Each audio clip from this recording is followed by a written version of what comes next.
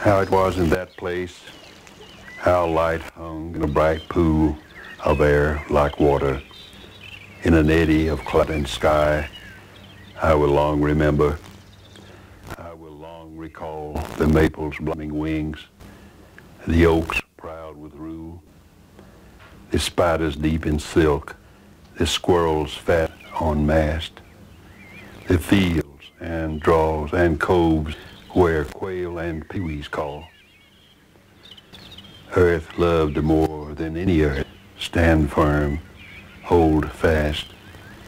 Trees burdened with leaf and bird, root deep, grow tall.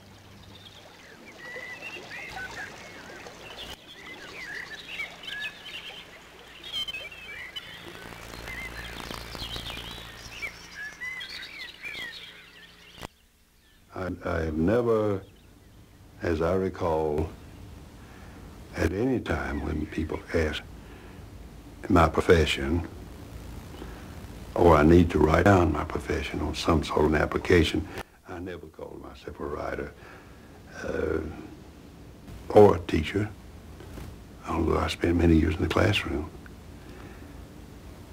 When I need to do that, I usually say farmer. And even that doesn't exactly fit. No, I don't, uh, I write, but I don't think of myself as a writer. I'm interested in a great many things. And the other things I do inform my writing.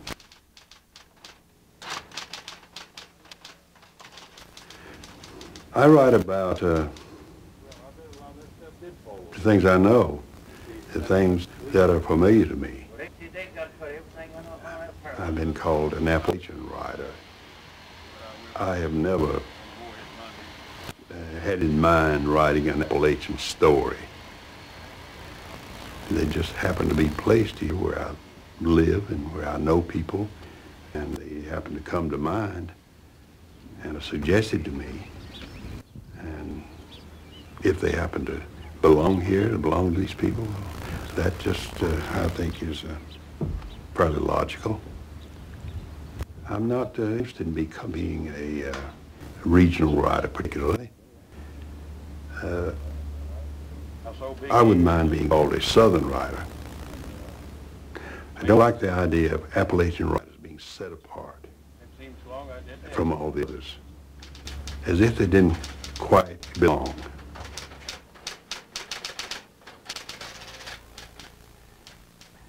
It's a far piece, Lark said. I'm afraid we won't make it afore dusty dark. We squatted down in the road and rested on the edge of a clay rut. Lark says poke on the crust of a nag's track, and I lifted the saddlebags off my shoulder. The leather was damp underneath. We ought ne'er thought to be scholars, Lark said. The sunball had turned over the hill above Riddle Hargan's farm, and it was hot in the valley. Grackles walked the top rail of fence, breathing with open beaks. They halted and looked at us, the legs wide apart and rusty backs arched. I knowed you'd get dolesome ere we reached Troublesome Creek, I said. I knowed it was a-comin'. Lark drew his thin legs together and rested his chin on his knees. If and I was growed up to 12 like you, he said, I'd go along pert. I'd not mind my hand. Writing hain't done with your left hand, I said. It won't be again you larnin'. I oughtn't to tried busting that dynamite cap, Lark said. It's a hurtin' sight to see my left hand with two fingers gone. Before long, it seemed plumb natural, I said. In a little spell, they'll never give a thought to it. The grackles called harshly from the rail fence. We'd bet the apples while we're sitting, I said. Lark opened the poke, holding a Wilburn and a Henry back. You take the Wilburn, I told him, for it was the largest. I choose the Henry back because it pops when I bite it.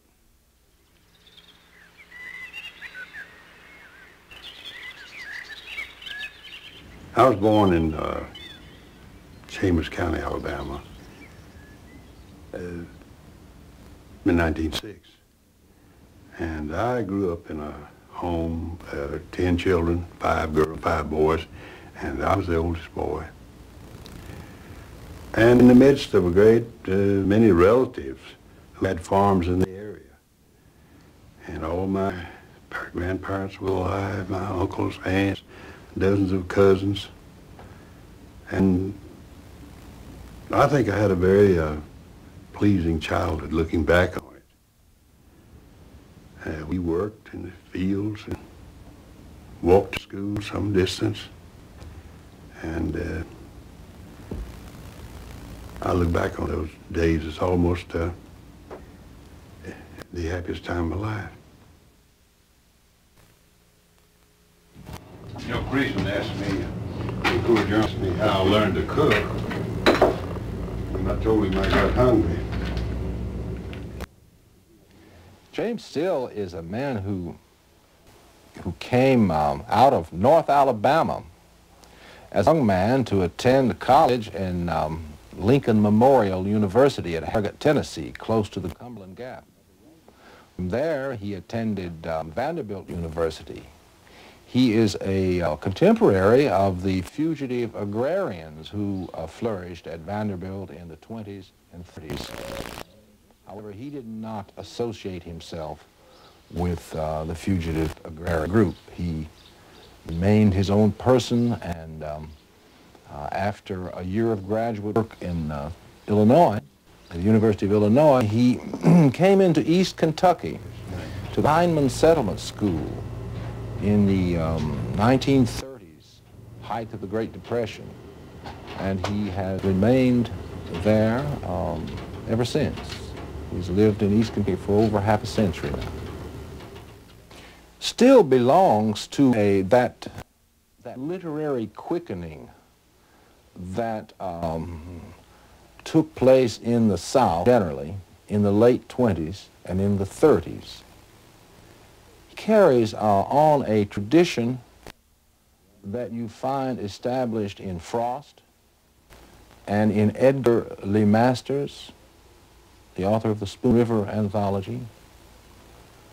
He knows how to take folk life and folk speech people in rural areas, in small towns, and using, using their language and using their folk ways, elevate it to uh, a literary quality.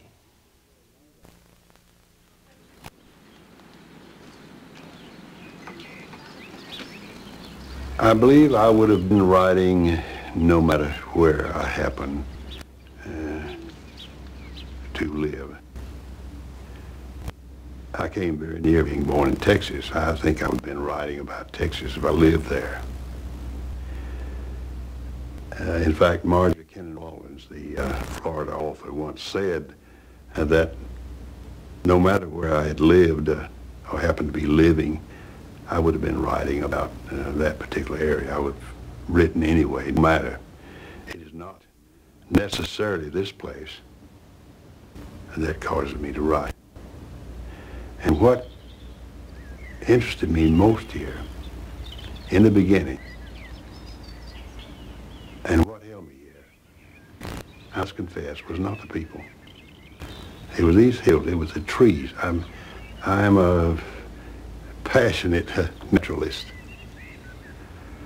And I was fascinated by these wild mountains and all the plants and animals in them.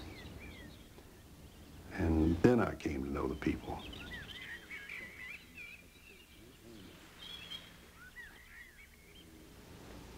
I was born humble.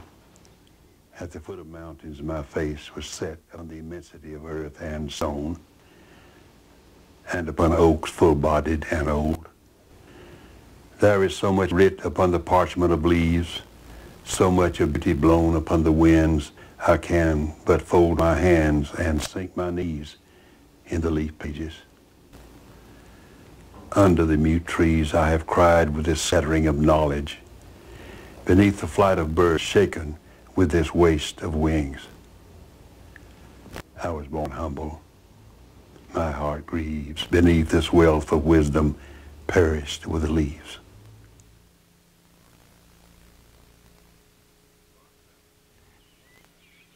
Lark wrapped the damp seeds in a bit of paper torn from the book. I got up, raising the saddlebag. The grackles flew lazily off the rails, settling to a len beside the road, their dark wings brushing the leaves like shadows.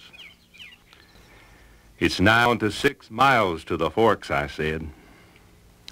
Lark asked to carry the saddlebags away so I might rest. I told him this load would break your bones down. I let him carry my broke brogans, though. He tied the strings into a bow and hung them about his neck. We walked on, stepping among hardened clumps of mud and wheel-brightened rocks. Cowbells clanked in a redbud thicket on the hills. A calf bellowed. A bird hissed in a persimmon tree. I couldn't see it, but Lark goosed its flicking tail feathers. A cherry bird's nigh tame as a pet crow, Lark said. Once I found one setting her some eggs, she never flew away. She was that trusting. Lark was tiring now. He stumped his sore big toe twice, crying a mite. You'll have to stop dragging your feet or put on shoes, I said.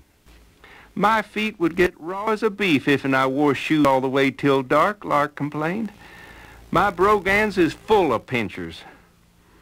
If I me a drap of water on my toe, it would feel a sight better. Farther on, we found a spring drip. Lark held his foot under the cool stream. He wanted to scramble up the bank to find where the water seeped from the ground. There might be a spring lizard sticking its head out of the mud, he said. I wouldn't give in to it. So we went on. The sunball in our faces, road curving beyond sight. I've heard tell they do queer things, a fork school lark said. Yet I forgot what it was they done. They've got a big bell hung square up on some poles, I said and they ring it for they get up o' mornings and when they eat. They got a little sheep bell to ring in the schoolhouse before and books. Dee Finley took a month's schooling there, and he told me a passel. Dee says it's a sight on earth, the washing and scrubbing and sweeping they do. Says they might not take a hat off of floors or washing them so much. I bet it's the truth, Lark said. I've heard, Mommy, it's not healthy keeping dust brished in the air and a damping floors every day, I said. And Dee says they got a passel of cows in a barn. They take and wet a broom and scrub every cow before they milk. Dee reckons they'll soon be brushing them cows' teeth. I bet it's the truth, Rick said. All that messing around don't hurt them cows none. They get so much milk everybody has a God's plenty. The sunball dropped behind the beech woods on the ridge. It grew cooler. We rested again in a horsemint patch, Lark spitting on his big toe, easing the pain. Lark said, I ought ne'er thought to be a scholar. They never was a pure scholar amongst all our folks, I recalled. Never a one went all the way through the books and come out yon side. I've got a notion doing it. He'd take a right smart spell, Lark said. A story for me uh, in the beginning, it occurs to me. It seems to me in a flash. That is, somehow I have the ending, and certainly before I have the beginning. One I had, uh, I knew of a of a child, a stepchild of a, a student of mine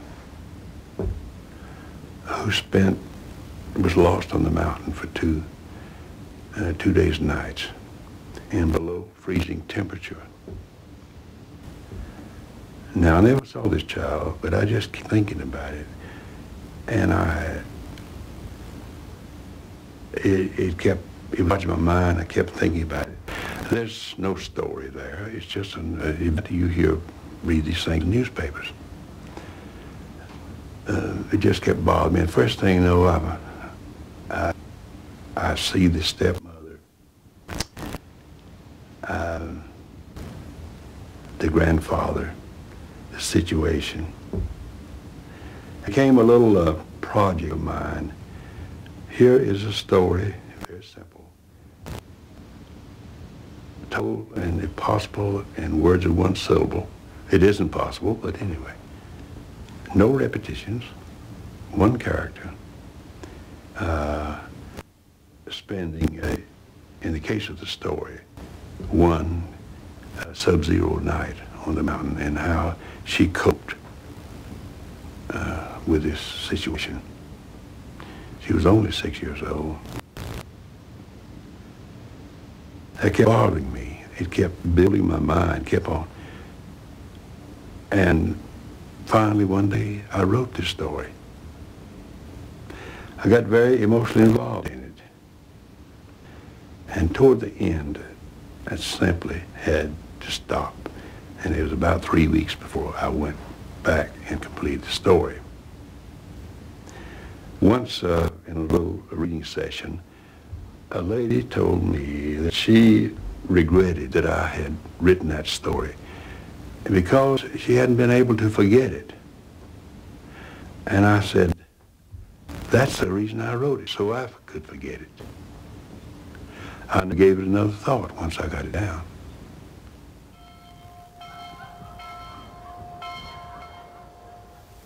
James Still is a minimalist.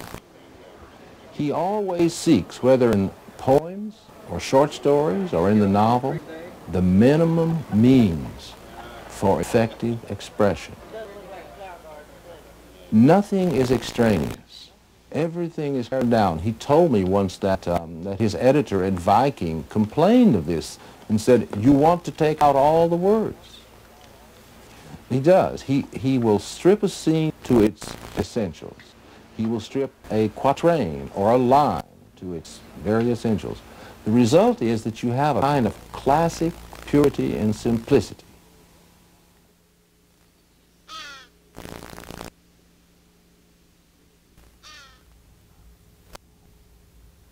I was born in a ridge pocket.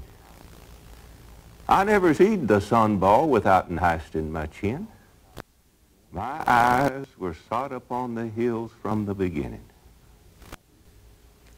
Till I come on the word in this good book, I used to think a mountain was the standingest object in the sight of God. It says here, they go skipping and hopping like sheep, a rising and a falling. These hills are just dirt waves washing through eternity. My brother, there ain't a valley so but what it'll rise again. There ain't a hill standing so proud but it'll sink to the low ground of sorrow. Oh, my children, where'er we going on this mighty river of earth, a borning, begetting, and a dying, the living and the dead, riding the waters, where'er it's sweeping us.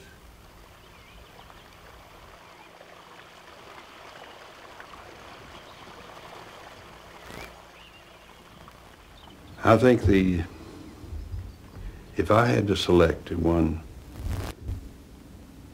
theme, uh, basic to the lives of the people here, I think it is the will to survive any difficulty, any sorrow, any condition. I have seen them do it, and I am seeing them do it now. And I admire that. I admire people who are not afraid to be themselves. There's nobody playing roles here. Uh, when a man makes a statement, that's it, as far as he's concerned. And I know it. It may not be acceptable to me, or maybe not to us, but that's, that's his view. And he doesn't mind making it, except for those guarded subjects, which he never uh, mentions or brings up.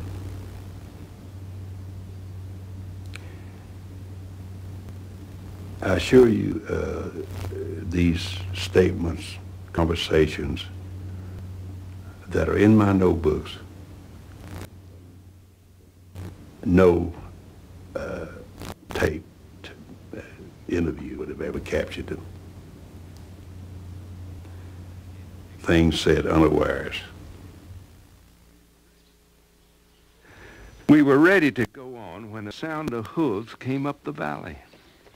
They were far off and dull. We waited, resting this bit longer. A bright-faced nag rounded the creek curve, lifting hooves carefully along the wheel tracks. Kane Griggs was in the saddle, riding with his feet out of the stirrups for his legs were too long to fit. He halted beside us, looking down where we sat. We stood up, shifting our feet. I reckon your pappy's sending his young'uns down to the fork school, Kane guessed. Going down to stay a while and get a mess of fool notions. Pappy never sent us, I said. We made our own minds. Kane lifted his hat and scratched his head. I never put much store by all them fought-on teachings. A learning queer on natural things, not a grain of good on the Lord's creation. Ain't nothing wrong with learning to cipher and read writing, I said. None I ever heard tell of. I've heard they teach the earth is round, Kane said, and that goes against Scripture. The book says plumb blank it's got four corners. Who ever seed a ball have a corner? Kane patted his nag and scowled. His voice rose. They's a powerful mess of fancy foolishness they teach a chap these days. A pouring in till they got no more judgment than a granny hatchet, a grinding their brains away with book reading. I always said a little learning's a good thing, sharpening the mind like a saw blade. But too much knocks the edge off the points and darkens a fellow's reckoning. Lark's mouth opened. He shook his head, agreeing. Ain't everybody knows what to swallow and what to spit out, Kane warned. Now, if I was you, young and tender-minded, I'd play hardhead down the forks and let nothing but truth get through my skull. It takes a heap of knocking to get a thing proper anyhow, and the harder it's beat in, the longer it's liable to stay. I figure the Lord put our brains in a bone box to sort of keep the devilment strained out. Kane plucked his nag. She started off, lifting her long chin as the bits tightened in her mouth. Kane called back to us, but his words were lost to the rattle of hooves. I bet what that feller says is the plumb blank gospel, Lark said, looking after the disappearing nag. I'm scared I can't tell what truth and what ain't. If and I was growed up to 12 like you, I'd know. I'm afeard I'll swallow a lie tale. Kane Griggs don't know square to the end of everything, I said. We went on. The sun ball red, mellowing the sky. Lark trudged beside me, holding to a strap of the sag, barely lifting his feet above the ruts. His teeth were set against his lower lip, his eyes downcast. I knowed you'd get dolesome, I said. Martins flew the valley after the sun was gone, fluttering sharp wings, slicing the air. A whippoorwill called. Shadows thickened in the laurel patches. We came upon the forks in the early evening and looked down upon the school from the ridge. Lights were bright in the windows. Those shapes of houses were lost against the hills. We rested, listened. No sound came out of all the strange place where the lights were unblinking and cold. I stood up, lifting the saddlebag once more.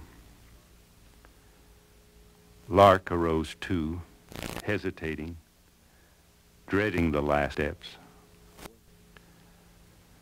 I ought ne'er thought to be a scholar, Lark said. His voice was small and tight, and the words trembled on his tongue. He caught hold of my hand, and I felt the blunt edge of his palm where the fingers were gone. We started down the ridge, picking our way through stony dark.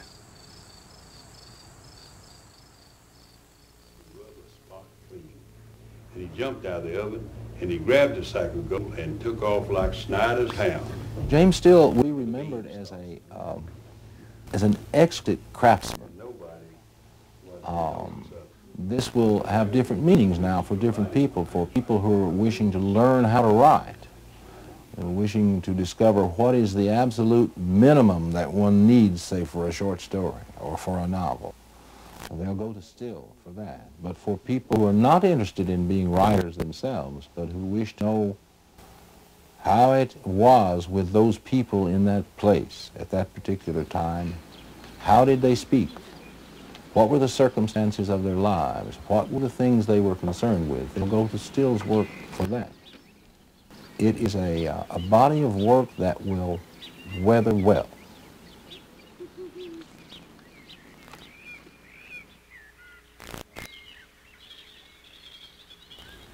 I shall leave these prisoning hills, though they topple their barren heads to level earth, and the forest slide uprooted out of the sky.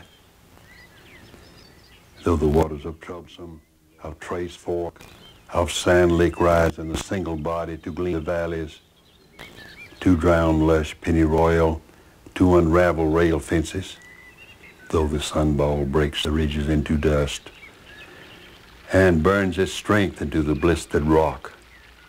I cannot leave. I cannot go away.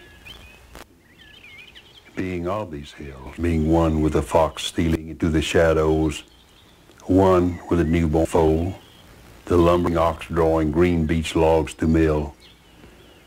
One with the dead feet of man climbing and descending, and one with death rising to bloom again. I cannot go.